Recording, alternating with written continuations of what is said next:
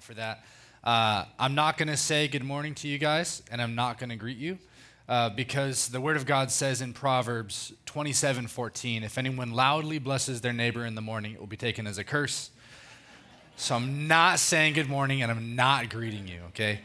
Uh, my name is Pastor Nathan. I'm one of the youth pastors here at the Bay Church. It's a pleasure to be with you guys.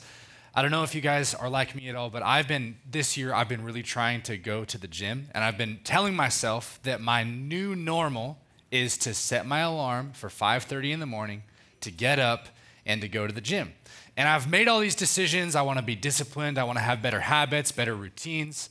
Uh, that was my alarm going off just there, actually. Uh, but um, I, I, I decided what I wanted to do. But then my alarm actually goes off at 5:30 in the morning. And like many of you in the room, it's kind of one of those like trying to hit the snooze button. Uh, and then it goes off 15 minutes later and then i hit the snooze button again and then it goes off 15 minutes later and i hit the snooze button again and then at 7.45 i'm actually awake and it's too late to go to the gym uh, i also realize that i've been doing the same thing with god like i tell god i want to grow i tell god i want wisdom i want spiritual discipline but then when he actually prompts my heart or speaks to me or I read something from Scripture that actually challenges me, I find myself hitting the snooze button on God. Thank goodness I'm the only one in the room that does that. and the reason is because I'm a fool. That's why I do it. I'm not naive, I'm not innocent. I know that my time with God will make me better. I know that when He speaks to me, I will grow if I listen but I still choose not to.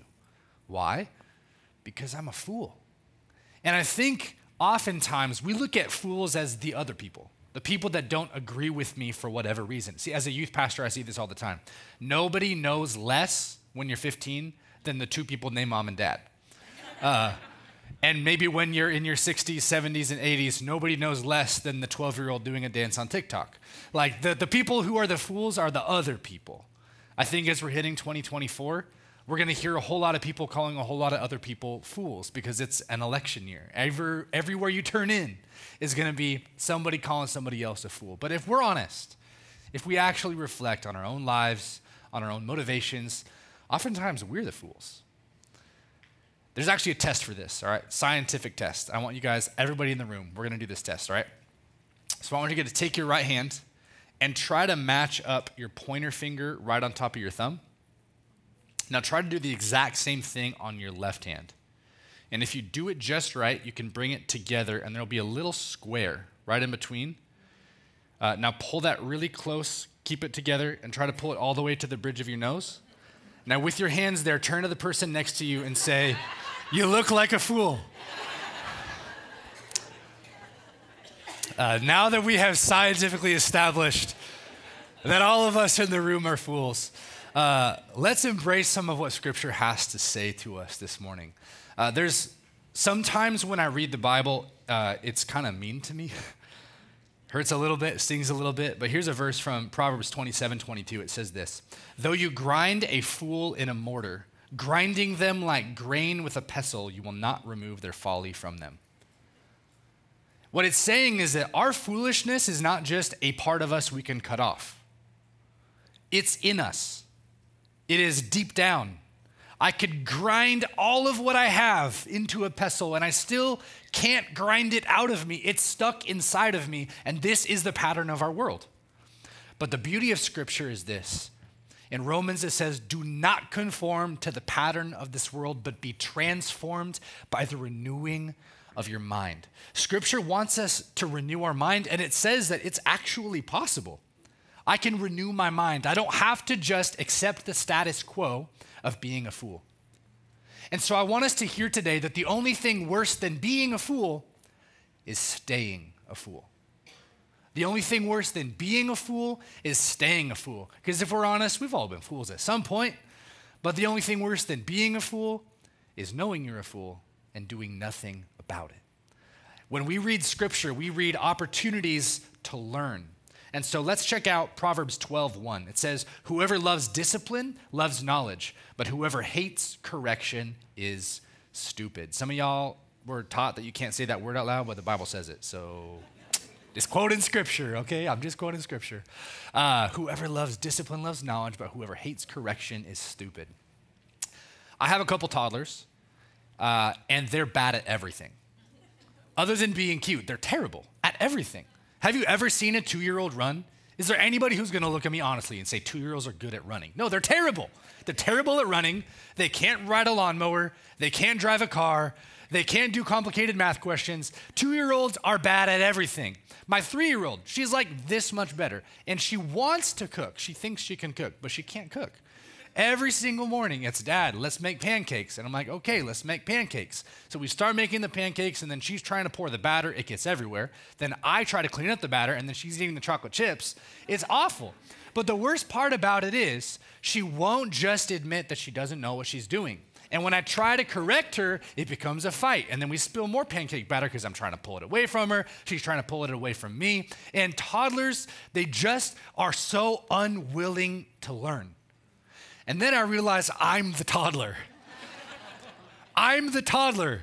How often do I read scripture and I'm just so unwilling to actually do what it says? I had this moment a couple months ago where I was like, you know those weeping moments like in prayer and worship where you're like, God, I'll do anything. I'll give you everything. You know, I was having one of those moments. And uh, like the oh god i'll give you everything. Like ask me anything big and if i know it's you god i will do it. If i know it's you god i will do it. And i'm feeling like so spiritually proud of myself. And he's like i have like a couple thousand pages of words that you know are from me and you don't do it. I was like oh wow okay. Uh, whoever hates correction is stupid hmm well, uh, I think that's all of us at some points, though, right? We, we see the stuff we should do and we don't do it. It's so easy to deceive ourselves. It's so easy to see the problem in somebody else's life or in their thinking or in the things that they're doing, but we don't see those problems in ourselves. And scripture sometimes wants us to be a little bit more reflective and to be more willing to learn. My encouragement to you uh, in kind of in line with a lot of what Proverbs says, is find people in your life who are wise. Find people who will give you good advice, who are not so desperately clinging to be your friend that they won't actually say the thing to you that you need to hear.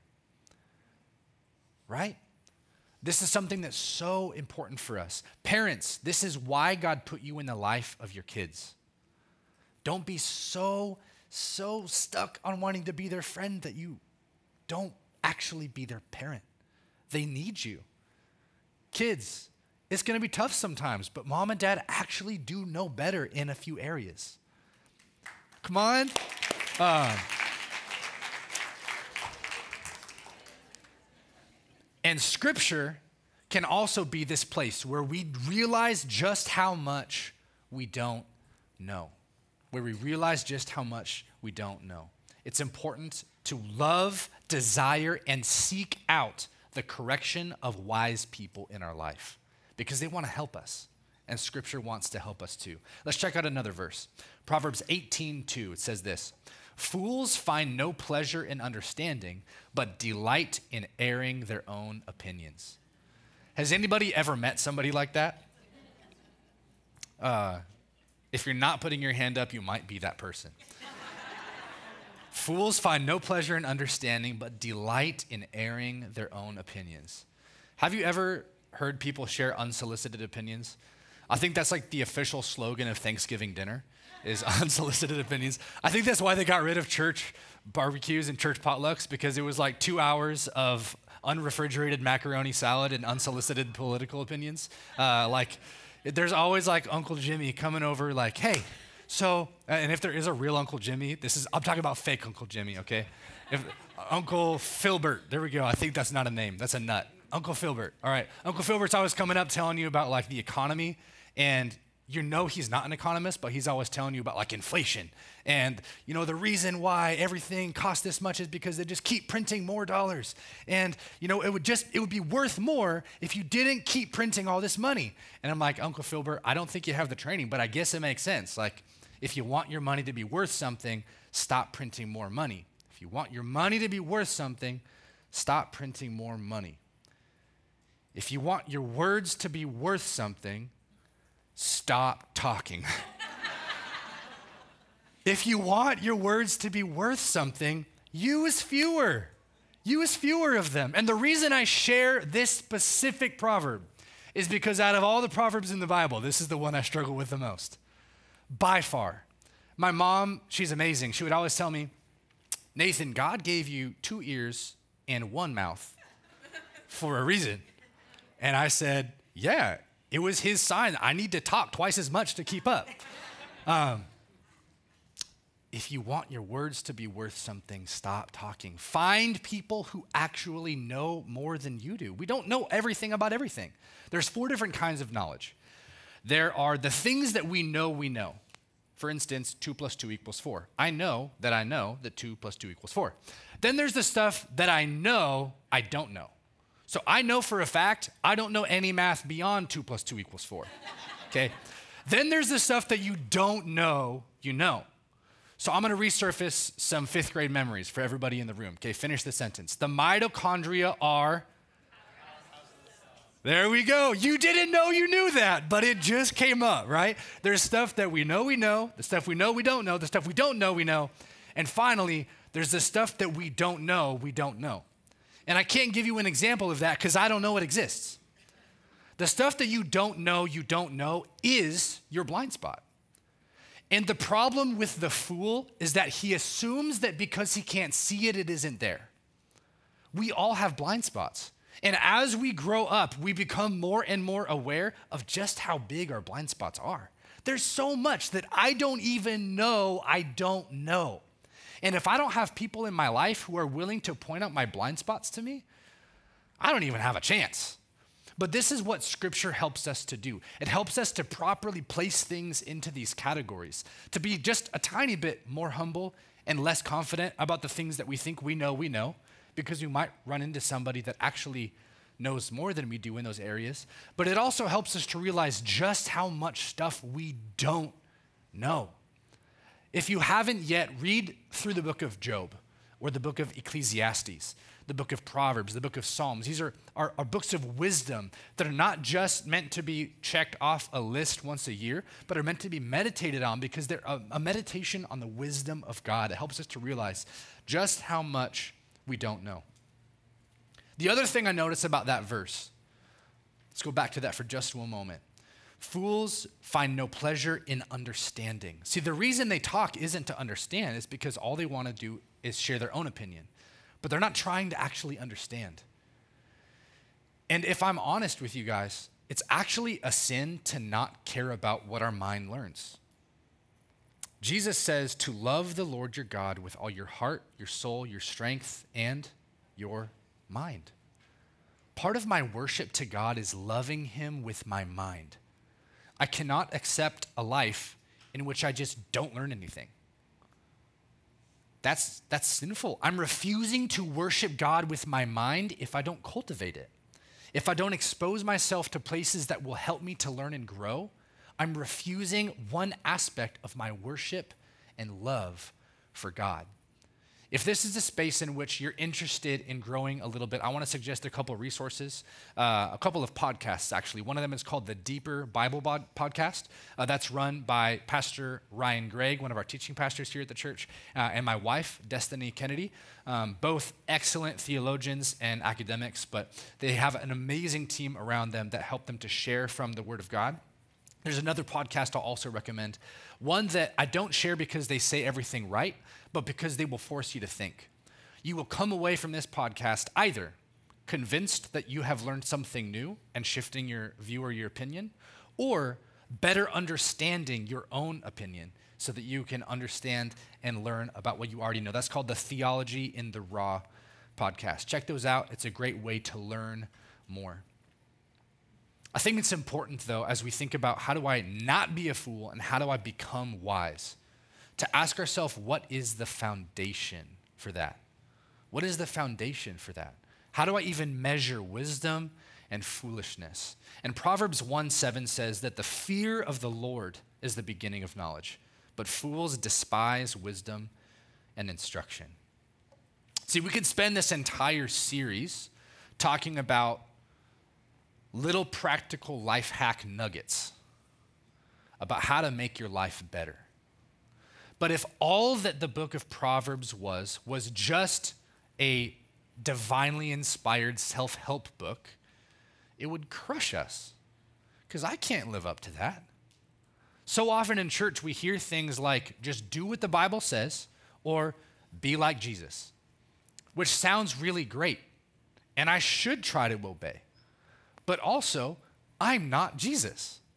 I can't live like Jesus. I can't do it because I can't be wise on my own. I can't find knowledge on my own. I have to tune in to the wisdom of Scripture.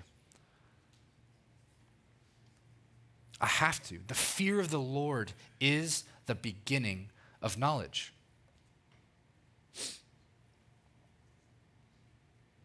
I can't live good enough to earn God's approval. That'll never happen. But when God changes my life, changes my hearts, changes my desires, then and only then do I have the capacity to actually start to live out the kind of stuff he talks about. And if it's true that I should have the fear of the Lord, let's put up that verse the fear of the Lord. Because fear, it's not talking about like, oh no, kind of fear, but like, oh wow. Okay, it's not, oh no, but like, oh, wow. When I have that moment before God where I realize my awe for Him, my respect for Him, my devotion to Him, those are the moments that I actually begin to see clearly. It's in light of seeing all that God is and all that He wants for me that my life actually starts to come into clearer focus. Have you ever noticed how easy it is to misprioritize your life? Why is it only after the fallout of the affair that you realize how much your family meant to you? Why is it only after that loved one has passed away that you realize how much they meant to you? Why is it that only after the devastating injury do you realize what a gift your physical health was? It's so easy to misprioritize our life. Because sometimes the things of God feel like they're on the other side of where I'm living now. It feels so distant. It feels more often than not like I can just live my life in my lane, let God be over there in his bubble, and I'll reckon with him at some point. But but God is real and he loves us. And scripture says that Jesus is coming back someday to institute his kingdom. And if, if I die before then, I'm going to meet Jesus. And what am I going to say? And what's he going to say to me? If that's true, if that is the case, let's think about another verse from Proverbs 27. It says this The prudent see danger and take refuge, but the simple keep going and pay the penalty. The prudent see danger and take refuge, but the simple keep going and pay the penalty. There's a true story of something that happened back in 2018 in the state of Hawaii. Uh, everybody on the island got this text Emergency alert. Ballistic missile threat inbound to Hawaii. Seek immediate shelter. This is not a drill. Imagine you're kicking back on the beach, drinking your virgin pina coladas, and you're just, you know, hanging out. All of a sudden, you get this text on your phone, and you look down. Oh my goodness, what am I going to do? There's videos of it because this was a real thing that happened. People like running through the streets seeking shelter, running to the hotels. And I heard a story of this family that was there. Uh, mom was nowhere to be found, but dad and the kids are running into the hotel. There's hundreds of people streaming in, just desperately looking for shelter. And they're just like desperate. They're crying, they're weeping, they're screaming, they're yelling. They're trying to get their affairs in order. They're trying to cash in on their life insurance policy. And they're also like praying Like, God, do something, intervene, send help. God, we don't know how to handle this on our own. There's a threat coming we can't take out on our own. God, we need something. They don't even know what God they're praying to, but they're praying because they realize in that moment, hey, I can't solve this. Maybe God can. I'm just going to throw myself on his mercy. And for 35 minutes, revival is breaking out in the state of Hawaii until finally they get an update text. Oops. Somebody hit the wrong button. And at that point, they don't even know what to do with these emotions. They're just emotionally shot. The kids and dad go upstairs to the hotel room, and mom was just in the shower the whole time. And the kids are still freaking out. They run up to her, Mommy, Mommy. She's, what, What's going on? And they explain it to her and they ask where she was. And she says, Oh, I was downstairs in the fitness center, and a friend and I were just on the treadmill. We were talking, having a good time. We came upstairs, I went in the shower, and now, now I'm here. I think that in, in the moments where life seems like it's just about to end, the veil between us and God is like this thin. Like the veil between what is and what actually matters is this thin. And we can spend our life choosing to look for those thin spots between right here, right now, and the presence of God in our life or we can waste our life on a treadmill. I don't want to just plod along, ignoring the fact that God is real. He loves us, but there's an end coming either to my life or to the regular workings of our world when Jesus comes back. I can, I can just keep ignoring that, living however I want to live, doing whatever I want to do, acting a fool in whatever way I see best. Or I can say, Jesus, I need your wisdom. See, fools, they see the coming danger and they just stay on the treadmill.